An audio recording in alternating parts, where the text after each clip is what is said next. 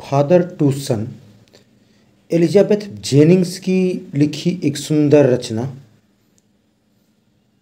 के stanza based question answer को पढ़ेंगे। I do not understand this child though we have lived together now in the same house for years यद्यपि हम दोनों एक ही घर में वर्षों से इकट्ठे रह रहे हैं, मैं इस बच्चे को समझ नहीं सका। I know nothing of him मैं इस बच्चे को कुछ नहीं समझ सका। So try to build up a relationship from how he was when he small इसलिए मैं उसके साथ अपना संबंध उसी आधार पर बनाने का प्रयत्न करूँगा, जैसे कि वह तब था जब छोटा था। Question first who lives in the same house and uh, for how long? Answer The father and the son lived uh, in the same house for a long time.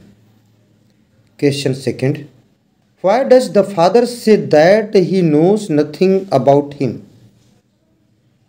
Answer They live in the same house like strangers. When they are with each other, there is complete silence around them. As a result, he claims to know nothing about his son. Question third What kind of relationship does he want to build? Answer he wants to build a relationship with his son that is similar to the one he had with his son during his childhood. Second stanza. Yet have I killed the seed I spent or sown it where the land is his and none of mine क्या मेरा बीज अर्थात उसकी शिक्षा दीक्षा सब व्यर्थ हो गई? द सीड आई स्पेंट और sown it where the land is his and none of mine यह पृथ्वी उसकी थी, मेरी नहीं। वी स्पीक लाइक स्ट्रेंजर्स हम अनजाने लोगों की तरह बातें करते हैं।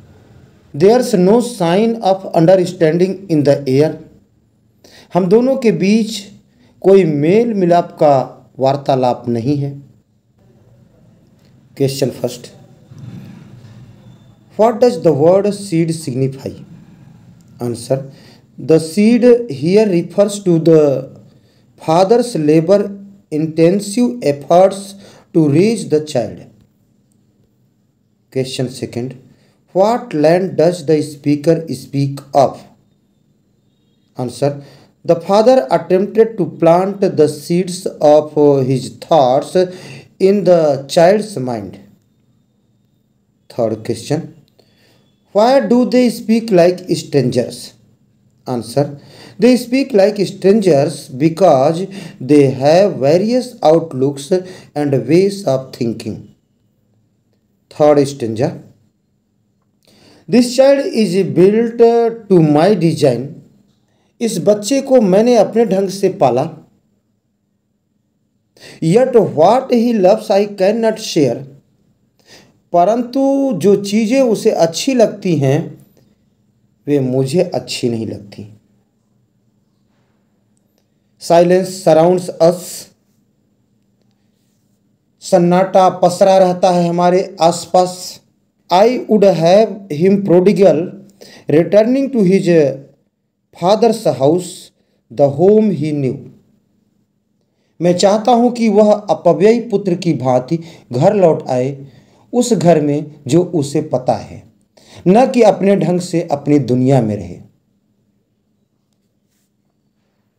Question what kind of child had he desired to design answer he had hoped to create a child that shared his preferences question second why does the speaker say this child not my child तो speaker क्यों कहता है this child my child क्यों नहीं कहता answer the speaker says this child not my child since they don't share anything in common question third और आज के सेशन का last question explain silence surround us answer the father and son have almost no communication when they are near each other there is complete silence thanks for watching me